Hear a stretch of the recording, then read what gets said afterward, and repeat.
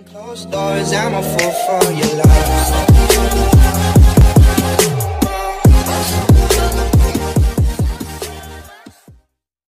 Hello guys! Welcome back to my channel. Andito na naman si Mamitas Cooking Vlog para bahagian ko na naman kayo ng aking recipe.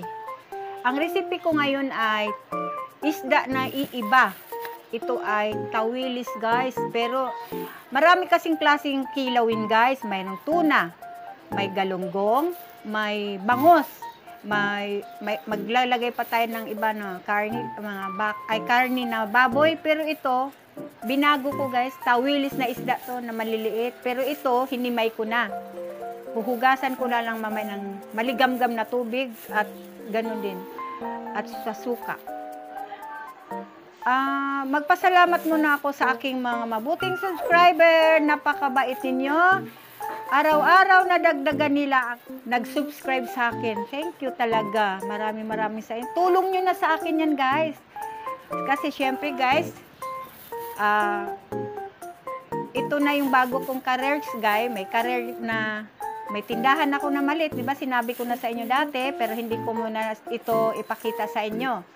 Kasi, nag-focus muna ako dito sa aking iba vlog. Guys, ah, sana umabot ng million din guys yung ano ko no, nag-subscribe sa akin. Napakasaya ako siguro guys. Regalo nyo na sa akin yun. Tota, matanda na ako. 61, ah, sik- mag 62 years old na ako. Ito na guys ang aking mga ingredients. Ipakita ko na sa inyo guys. Ito na yung ating mga ingredients. Yan, mayroon tayong isda na tawilis, ah, sibuyas, asin, konting seasoning at suka. Ito mamayang suka guys. Ililimas ko lang dyan at dagdagan. At may luya tayo dito, sili at kalamansi. Okay na guys, umpisa na natin ang ating gagawin. Guys, mayroon tayong maligamgam na tubig. Buhusan natin siya at asin lang natin yan.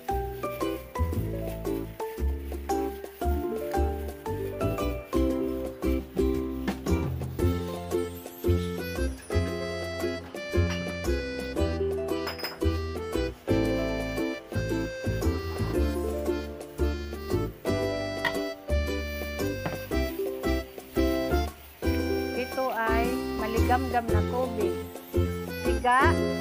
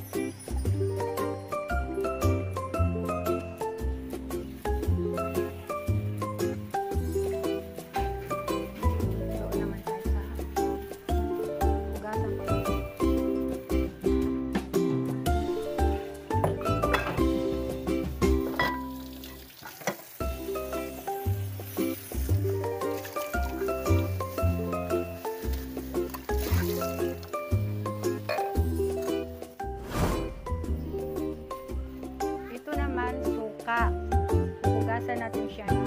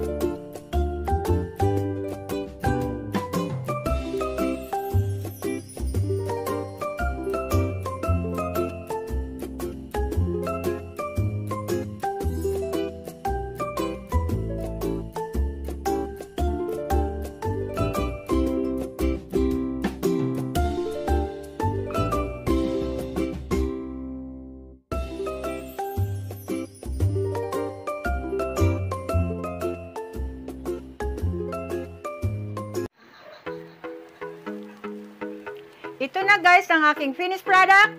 Tawilis na kilawin. Napakasarap guys. Na, naiiba itong aking kilawin guys. Magsubok din kayo sa inyong bahay. Luto, ah, gagawin nyo rin to. Thank you very much. God bless and subscribe to my channel.